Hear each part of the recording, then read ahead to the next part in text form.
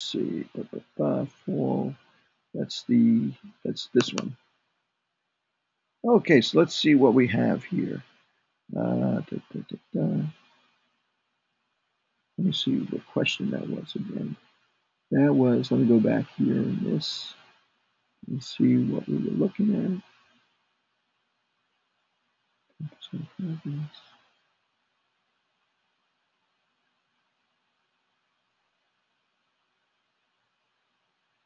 Just looking back at the questions here.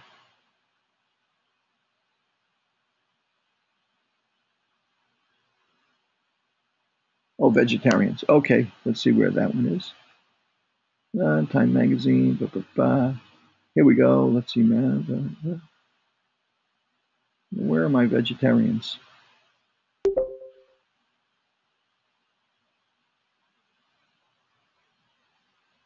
Part, two, two. Up, oh, here we go. Okay, I see it now. Okay, time to go to the construct 95% confidence. And what confidence can you state that fewer than 10% of Americans were vegetarians? And okay, let's take a look at that. I'm going to redo, uh, partially redo that, not completely redo it, but partially redo it. And I'm going to save, save as that paired.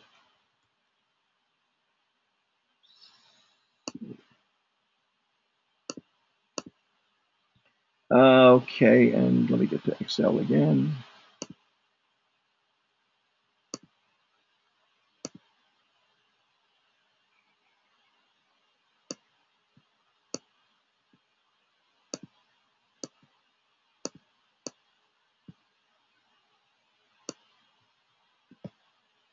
Okay, so 4% sample sizes. Uh, the p-value, p-cap was uh, uh, 0.04. And the size of the sample was 1,000 people. Okay, so we're going to take a look at something here. We're going to calculate, let's see what we have here. Um, p-cap is 0.04. Okay, and uh, we were going to calculate our, when we calculated our t-score, or as actually we calculated a z-score, right? Z was equal to, it was equal to uh, um, uh, p cap. Let's see, what, what was z equal to? Let me see again here what I did here. Uh, vegetarian, uh, four percent, so they were vegetarians. Oh, I'm going to calculate my standard error. Uh, we did we we calculated the confidence interval here. And in order to calculate the confidence interval, we took PCAP and we added plus or minus the the level of confidence that we wanted to have, which was 95%, the z-score that we needed for that. I won't go back over the z-score because we know with with uh, with this problem we had sufficient sample size in both groups that we use z instead of t. Okay, we calculated z. We decided z-score is 1.9 1.96 where an alpha is equal to 0.05, and we multiplied that by the standard error. Okay, and standard error was calculated here a little bit differently than it was for some of the other problems. And the way we calculated standard error was we said it was equal to it was equal to p cap. I'll write it out. I'll write it out first. P cap minus okay times excuse me one minus p cap Okay, put this in parentheses. Put this in parentheses. Minus, uh, so, oops, p cap times, I'm messing this up pretty good. p cap times 1 minus p cap over the sample size, which was 1,000 in this case. Okay, and I took the whole square root of that whole phrase. Okay, you have this, I'm sure, in somewhere uh, written out by hand in a, in, in a way that looks, oops, I don't want, it's not actually calculating. We'll put a space in there so it doesn't bother me. Okay, that's the calculation that I'm doing to find my standard error, which determines what the distribution of repeated samples of size 1000 would be if we started with this sample that was 0.04, if we assumed for a moment that that's likely to be our point estimate, the average uh, that we would find for all of these. Okay, so we're looking at uh, this is going to give us this is going to give us this standard error. It's going to give us a look at how this distribution, uh, how this is this, how this, how these samples might be distributed. Okay, so let's take a look at this. So I'm going to calculate this now.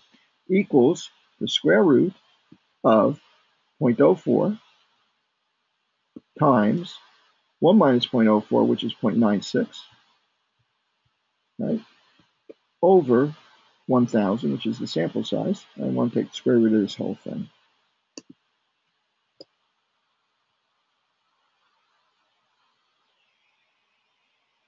Um, I, I, I, would say at least 30, sample size of at least 30, uh, uh, uh, if you want to use a z-score for uh, a normal uh, numerical numerical variable. For the p-test, it's got to be at least 30, but 15 in each of the two groups. Okay, so this is what I get as my standard error. Okay, I calculated my confidence interval by saying, well, two times that standard error. In other words, we added two times that standard error to the left of pcap 0.04 and two times my standard error to the right of pcap. Okay, well now, you know, that gives me my confidence interval for, that's really represents a range in which in which 95% uh, uh, uh of my results are, be, are 95% uh, probability of my mean is between those two range, those two values, and there's two and a half percent chance it's below that, and two and a half percent chance that it's above that. Well, they're asking us, well, what confidence can you state that fewer than 10% of Americans were vegetarians in uh, uh, uh, uh in in 2002? Well, let's think about that. They're asking us, what's the probability that less than 10% of Americans, in other words, probability P is less than 0.01. Okay, uh, 0.1. Well, we're kind of doing a t-test now, aren't we? We've got a standard error here, and we got a probability that we want to compare this to, 0.1. Okay, so maybe I want to make set up, let's look at this from a couple of perspectives. H null, right? H null is that, um, uh, well, we want to prove that fewer than 10% of Americans were vegetarians. So what we're interested in proving is that, that P is less than 0.1, 0.10. Okay, so our null hypothesis is, is that P is equal to or greater than 0.1. Okay, let me think about that for a second. P is equal to or greater than, uh, okay, 10 less than 10%. That's, and we want to reject our null hypothesis. Okay, so this is basically what we want to prove. Well, we know that the calculation that we did was, told us that, that um, um, um, uh, let's see, let's see. We know that the calculation that we did, uh, uh, the sample that we took, told us that 4% of Americans were vegetarians. Okay, I could actually say, maybe make this, I could actually turn this if I wanted to into a, instead of a one sided hypothesis, do something a little bit more rigorous and say that it's equal to point uh, try and prove that it's equal to or different than, not equal to, 10%. Okay, so I could solve this, which is a two a, a two-sided hypothesis, or I could solve this, which is a one-sided hypothesis. Okay, so I'm going to do this one first. I'm going to look at this as a two-sided hypothesis. Well, let me see. Well, I'm going to calculate a z-score here. Z because I know my sample size is big enough, it's a p-value. My z-score is going to be equal to the difference between what I calculated and what my null hypothesis is, what I want to check my null hypothesis is going to be 0.1, 0, minus 0.04, right? P1 minus P2.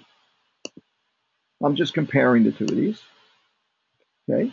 And uh, I'm going to put that over my standard error. And my standard error came out to be uh, 0.06, 0.0006.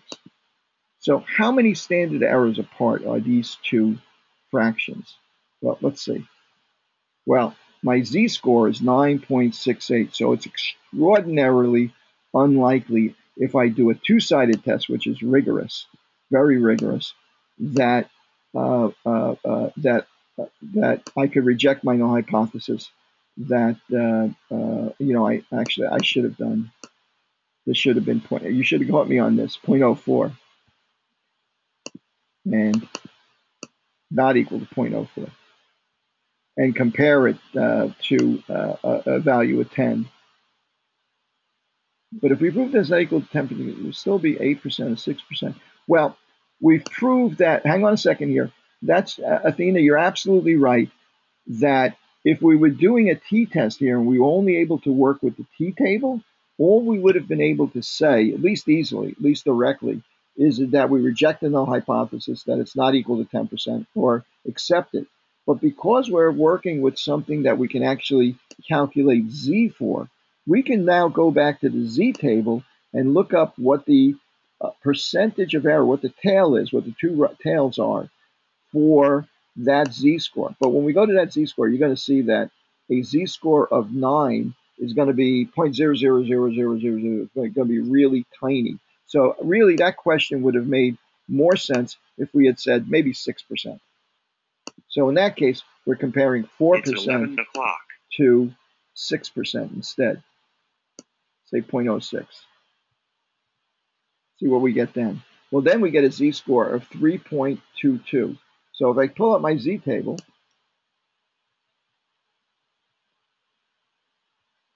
whoops,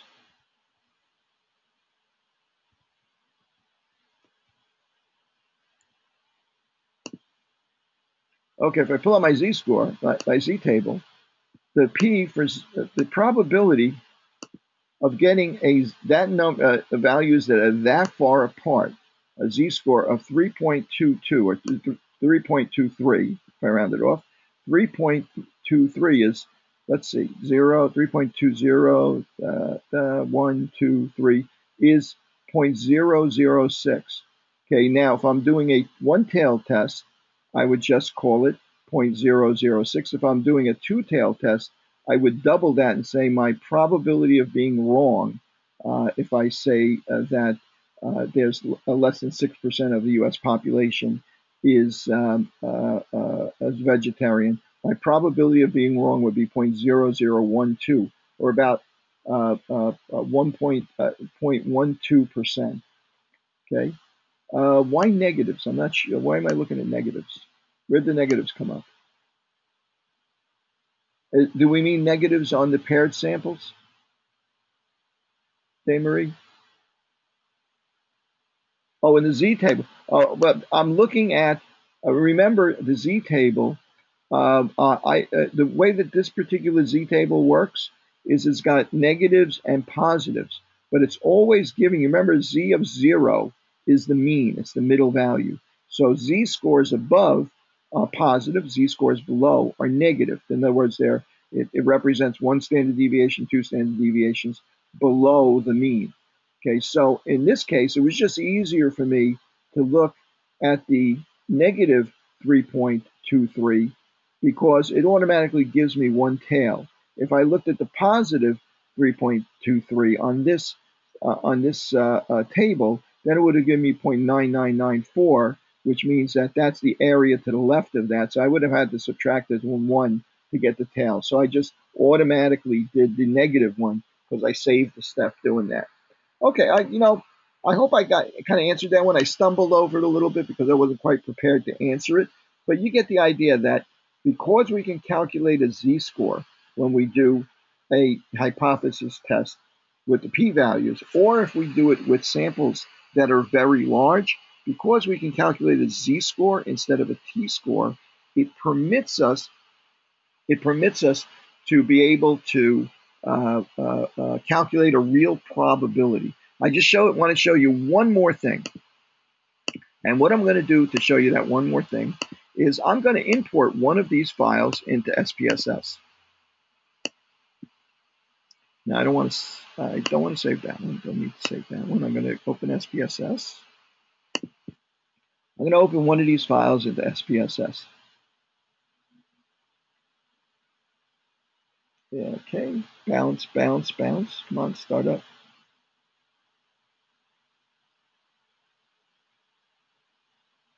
Bounce, still bouncing. Let me get this stuff out of the way. Uh, no, I'm going to changes. To say changes there. Okay, here we go.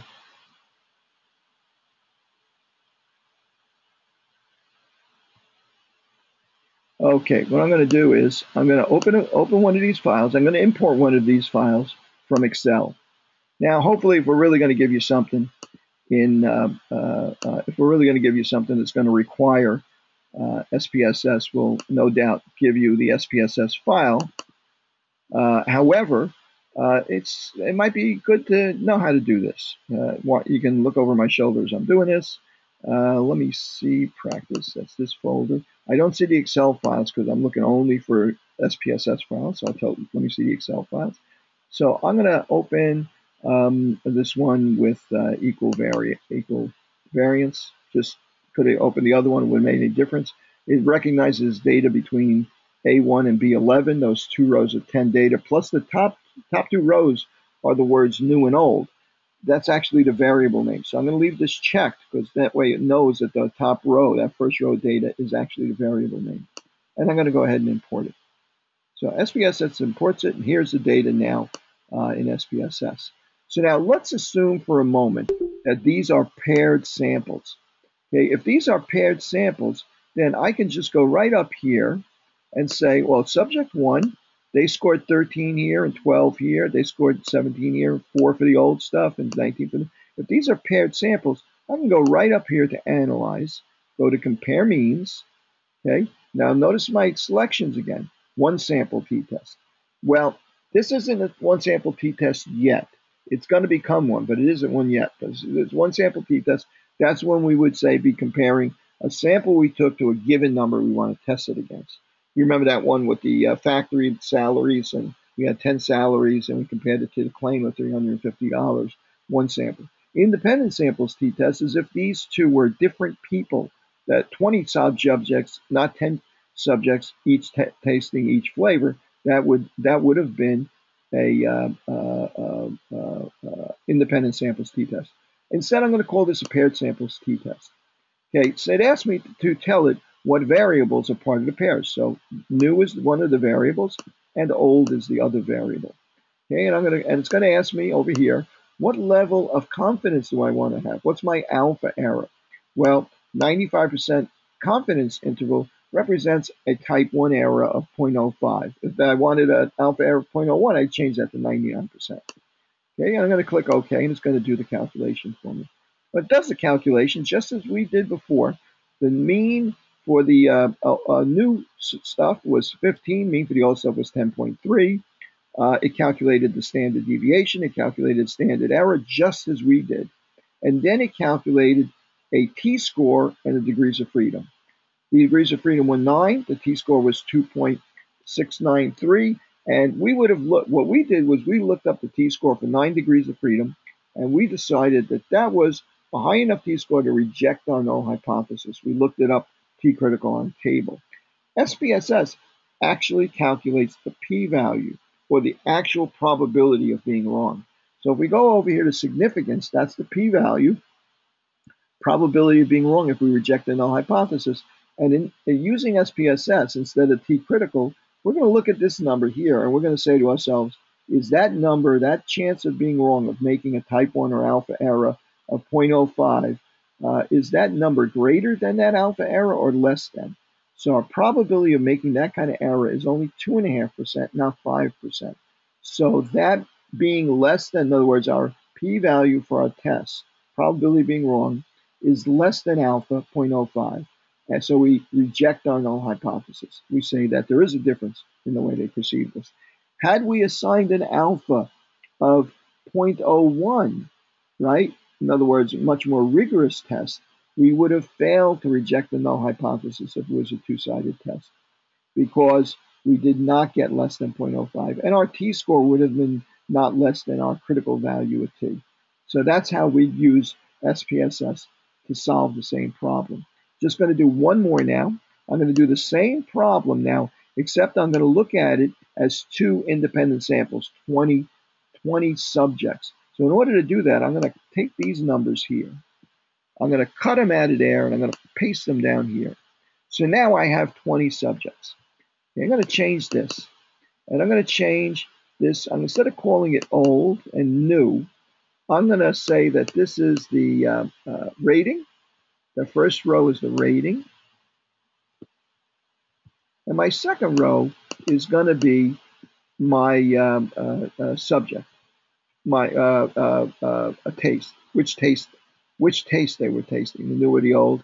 And I'm going to tell it, let's see, I'm going to go back to the front here just so I can fill it in first. I'm going to tell it, see, these guys are all the new ones, so I'm going to call that one. I'm going to put all ones in here for the new. Okay, hopefully this will be done for you. And I'm going to put all twos in here for the old flavors. Right, I'm going to go back here, back to the back here, variable view. And I'm going to say, okay, well, this is a, uh, the rating is numerical, scalar or numerical. Uh, the taste is nominal, no, it's a name. And I'm going to give it values. I'm going to say one is the new flavor, and two is the old flavor. I'm going to say okay. Okay, so when I go back here, I'll see that it's labeled new and old correctly. Now I'm going to go up and I'm going to go ahead and do my analysis. Now I have two independent samples, each one with 10 people in it. Okay, and I'm going to go up here, do my analysis, analyze, compare means. These are independent samples t-test, two, two independent groups, right, that tasted it instead of paired samples, not the same people. I'm going to click on this. Again, my option, I'm going to make, leave that at 95% for uh, uh a, a, a, a, type 1 error or an alpha error of 0.05. And I'm going to say, okay, the test variable, the rating, is my test variable. That's the number that I'm going to find the mean of. My grouping variable is the test, is the taste. I'm going to tell it that I want to break that rating up, the mean, the standard deviation, into two groups. The first group I labeled one, and the second group I designated two. Okay, that's my new and my old group. That's how I would let it know what uh, there could be more than two groups in here. Uh, t-test only compares two. So you might have had new, old, and really new, right? Maybe we had 30 subjects. You only want to compare two at a time for a t-test. So don't worry about that because later on we're going to learn how we compare more than three groups, more than two groups at the same time. But that's a little bit in the future. Okay, so I'm going to click OK. And it does the calculation for me again. Now, it did the same calculation. The mean of the first group, new, was 15, mean the old was 10.3, standard deviation 3.6, 3.5, and so on and so forth. Well, now remember before we had to make a judgment. Should I assume equal variances or unequal variances? If I'm looking at this, it sure looks like equal variances to me. Uh, it looks like that to you also, right? 3.6, 3.5, none. But in SPSS, we do an actual test for the equality of the variances. That's this first four boxes here, F, SIG, uh, 1.11, and so the actual calculation is for the statistic is 0.111. The significance, again, that's a probability, is the probability of being wrong if we reject the null hypothesis for equality of variances. What's the null hypothesis for equality of variances? Well, the null, uh, null hypothesis is that these two variances are the same. Okay, and the alternative would be that they're different. And we would only reject the null hypothesis. In other, in other words, only say they're different if this p-value is less than 0.05. It's not less than 0.05, so we don't reject the idea that they're the same. And in fact, you can see they're basically the same.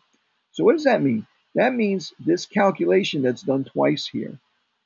Equal variance is assumed, equal variance is not assumed. It's, we don't use the bottom row here because we would have used that had this number been less than 0.05, and we rejected the idea that they're equal. Okay, we only use it uh, uh, if that's the case. In the case where this is greater than 0.05, as now, we use we keep assuming equal variances, and we use the top row. And the top row tells us that the t-score for this comparison is 2.9. Remember the degrees of freedom, how we calculated for equal variances was 18. And you might remember that for unequal variances, it was a ca complicated calculation. Turns out 17.995. Interesting, eh? Okay, so we go across the t-score calculation is the same. We go across, and the significance, the probability of being wrong, if we uh, reject the null hypothesis, our, our p-value is 0.01.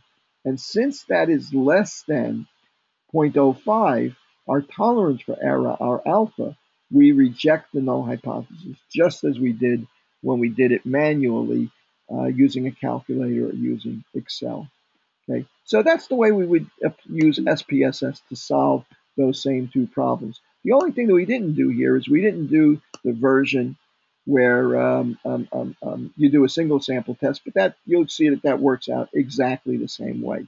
Okay, except you'll only have one row of data there because you're comparing it to a set number. In fact, if I open this up, you'll see I put the rating in here, and I just put what I want to compare it to. Like, for instance, uh, if I wanted to compare it to the number 10, like The, the average rating, I think, uh, that's for this is rating for everybody. If I want to compare the rating for both old and new to 10, I would just put 10 in there for it to compare it to.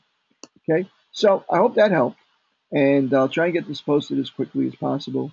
And uh, uh, it's been recording all this time, and hopefully there won't be any technical glitches, and I won't have to do this again. And uh, so, good luck on the exam, and email me with questions if you have any questions.